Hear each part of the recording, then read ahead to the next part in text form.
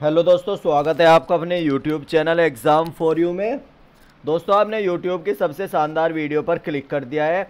आपका S S का 5 अक्टूबर का सेकंड शिफ्ट का एग्ज़ाम समाप्त हो चुका है गाइज़ सेकंड शिफ्ट में आपके जो भी क्वेश्चन पूछे गए हैं, इस वीडियो में मैं आपको कवर कराऊँगा। दोस्तों, हम आपको 100 परसेंट रियल एनालिसिस कराते हैं। बच्चों ने जो क्वेश्चन अभी तक भेजे हैं सेकंड शिफ्ट के, वे क्वेश्चन मैं आपको कवर कराऊँगा इस वीडियो में। अगर आप हमारे चैनल पर नए हैं दोस्तों, पहली बार वीडियो देख रहे हैं तो जल्दी से एग्ज़ाम फॉर यू चैनल को सब्सक्राइब करके बेल आइकन को ऑन कर लें, ताकि आपको यहाँ पर हर एक एग्ज़ाम का, हर एक शिफ्ट का एनालिसिस समय पर देखने को मिलता रहे। ऑल गवर्नमेंट एग्ज़ाम की प्रिपरेशन आप एग्ज़ाम फॉर यू चैनल पर कर सकते हैं। तो देख लेते हैं गाइज़ आपके सेकेंड शिफ्ट में क्या क्या क्वेश्चन पूछे गए हैं। एक क्वेश्चन था who was the first chairman of planning commission तो पहला चेयरमैन कौन था? प्लानिंग कमीशन का होता आपका जवाहरलाल नेहरू ऑप्शन नंबर आपका सी राइट आंसर था। अगला क्वेश्चन देख लेते हैं। Largest fresh water lake of the world यानी फ्रेश वाटर लेक कौन सी है? लार्जेस्ट वर्ल्ड में, वो है आपकी लेक सुपीरियर ऑप्शन नंबर आपका ए राइट आंसर था। एक क्वेश्चन था who appoints the chairman of UPSC तो कौन अपॉइंट करता है चेयरमैन ऑफ़ यूपीएससी को?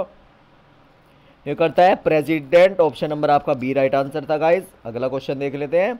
आर्य समाज समाजवाद फंडेड बाय तो ऑप्शन नंबर बी था स्वामी विवेकानंद। नेक्स्ट क्वेश्चन था guys which element is the highest conductor of electricity electricity का हाइएस्ट कंडक्टर कौन सा एलिमेंट है? ऑप्शन नंबर डी सिल्वर आपका राइट आंसर था। नेक्स्ट क्वेश्चन देख लेते हैं। सरयू नदी के किनारे कौन सा शहर बसा है? तो सरयू नदी पर बसा है आपका अयोध्या। अयोध्या आपका राइट आंसर था। ऑप्शन में दे रखा था। दोस्तों, वीडियो हेल्पफुल हो रही है तो फटाफट से सभी लाइक कर दें अपने सभी मित्रों के पास शेयर ज़रूर कर दें, जिसका भी पेपर होना है थर्ड शिफ्ट में, या नेक्स्ट डे जिसके पास भी, जिसका भी पेपर होना है, उसी के पास आप ये वीडियो को पहुँचा दें, ताकि उसकी भी हेल्प हो सके, उसे भी पता चल जाए किस टाइप से आपके क्वेश्चन पूछे जा रहे हैं। नेक्स्ट था सबसे ज़्यादा टेस्ट क्रिकेट खेलने वाले खिलाड़ी कौन बने हैं? सचिन तेंदुलकर। तेलंगाना उच्च न्यायालय की मुख्य न्यायाधीश कौन है? हिमा कोहली है। कोशिका का सिद्धांत किसने दिया था? स्लाइडन एंड श्वान ने दिया था, आपका राइट आंसर था, एक क्वेश्चन आया था। 2011 की जनगणना के अनुसार किस राज्य की साक्षरता दर सबसे अधिक है? तो केरल की है और सबसे कम बिहार की है। नेक्स्ट था गाइस भारत का वयोवृद्ध पुरुष किसे कहा जाता है? दादा भाई नरोजे को बोला जाता है। भारत का नेपोलियन, समुद्रगुप्त और ग्लोबल हंगर इंडेक्स 2020 में भारत की रैंकिंग क्या रही है? भारत जो है चौरानवे नंबर पर रहा है।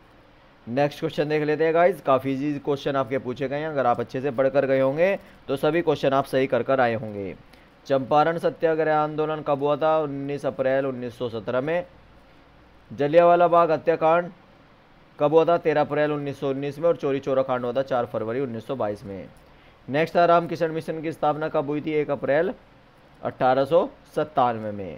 नेक्स्ट क्वेश्चन था गाइज़ विटामिन सी का रासायनिक नाम क्या है? स्कोर भी कम है विटामिन सी का नाम. 2021 में ग्रामीण विकास मंत्री कौन है? नरेंद्र सिंह तोमर है गाइज़ आपका राइट आंसर था।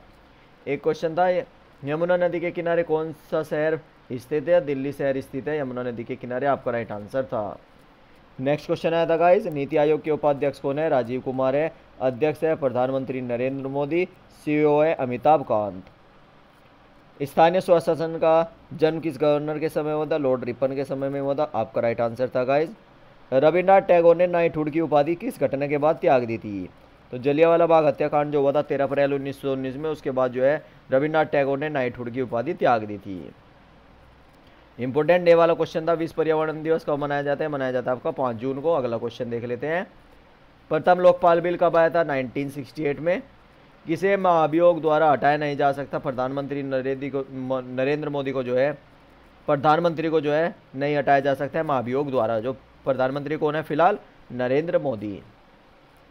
2014 में भारत रत्न किसे मिला? अटल बिहारी वाजपेयी, सचिन तेंदुलकर और मदन मोहन मालवीय को।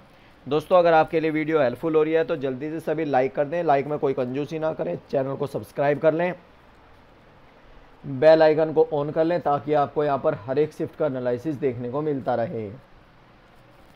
एक क्वेश्चन था grand old man of India किसे कहा जाता है? दादा भाई नरोजे को बोला जाता है। एशियाटिक सोसाइटी की स्थापना किसने की थी? विलियम जॉन्स ने की थी। यूनेस्को का मुख्यालय कहाँ पर है? पेरिस, फ्रांस में है।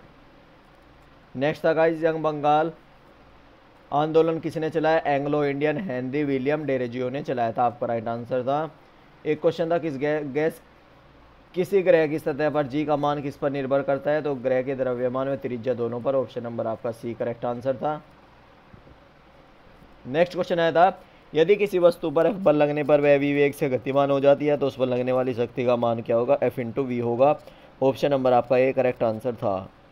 नेक्स्ट था, गुरुत्वीय तवरण जी का मान सबसे अधिक कहाँ पर होता है? ध्रुवों पर होता है। ऑप्शन नंबर आपका ए राइट आंसर था गाइज़ नेक्स्ट क्वेश्चन था, किस मंत्रालय ने कोविड नाइन्टीन पर जन आंदोलन अभियान शुरू किया है? तो आयुष मंत्रालय ने कोविड नाइन्टीन पर जन आंदोलन अभियान शुरू किया है। आपका राइट आंसर था गाइज़ एक क्वेश्चन था, किस राज्य की सरकार ने सोंग डैम पेयजल परियोजना शुरू की थी? उत्तराखंड राज्य सरकार ने सोंग डैम पेयजल परियोजना शुरू की है।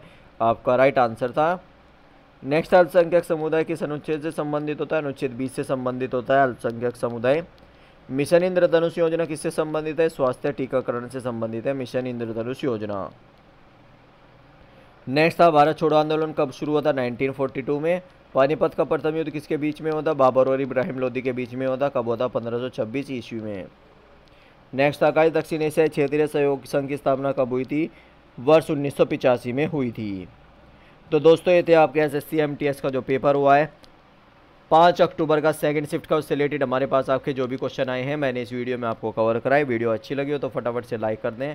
अपने सभी फ्रेंड्स के पास शेयर कर दें और अगर आप चैनल पर नए हैं, पहली बार वीडियो देख रहे हैं जल्दी से एग्ज़ाम फॉर चैनल को सब्सक्राइब करके बेल आइकन को ऑन कर लें ताकि आपको यहाँ पर हर एक एग्ज़ाम का, हर एक शिफ्ट का एनालिसिस समय पर देखने को मिलता रहे।